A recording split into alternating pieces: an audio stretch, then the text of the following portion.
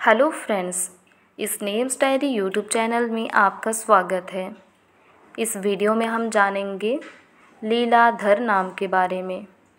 दोस्तों, लीलाधर नाम लड़कों के लिए रखा जाता है।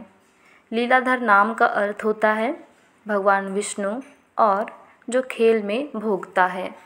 लीलाधर नाम के लोगों का धर्म हिंदू धर्म होता है।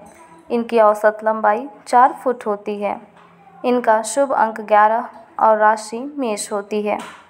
लीलाधर नाम के लोग दिखने में बेहद खूबसूरत होते हैं। ये लोग दिमागी तौर से तेज़, तर्रार और चंचल होते हैं।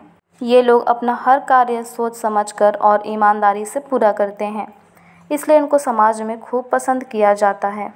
दोस्तों, इन्हीं सब कारणों की वजह से आप अपने बच्चे का नाम लीलाधर बिल्कुल आराम से चुन सकते हैं। इसी के साथ इस वीडियो में बस इतना ही। Thank you